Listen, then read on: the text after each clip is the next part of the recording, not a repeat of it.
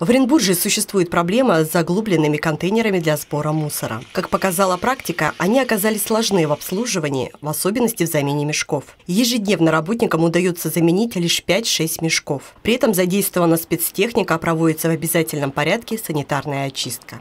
Вроде бы проблема небольшая, но чтобы заменить мешок уходит от недели до двух, и поэтому граждане скидывают мусор вокруг этих заглубленных контейнеров, что приводит к тем проблемам, которые мы имеем на сегодняшний день. Где-то, к сожалению, у нас инфраструктура пока не успевает за теми баками, за теми бачками, которые мы завозим для раздельного сбора мусора. В прошлом году мы поставили 3300 бачков на территории Оренбургской области, 8 крупных муниципалитетов. То в этом году нам выделено более 70 миллионов рублей примеру, в Орске подобные контейнеры – одна из причин свалок на площадках и проблем с вывозом мусора. Там они появились в 2019 году. И один бак стоил порядка 63 тысяч рублей. Еще около 30 тысяч рублей установка и демонтаж. Они часто требуют ремонта, и это невыгодно муниципалитетам. Ранее администрация Орска пообещала отреставрировать 50 подобных контейнеров. На это город готов потратить около 300 тысяч рублей.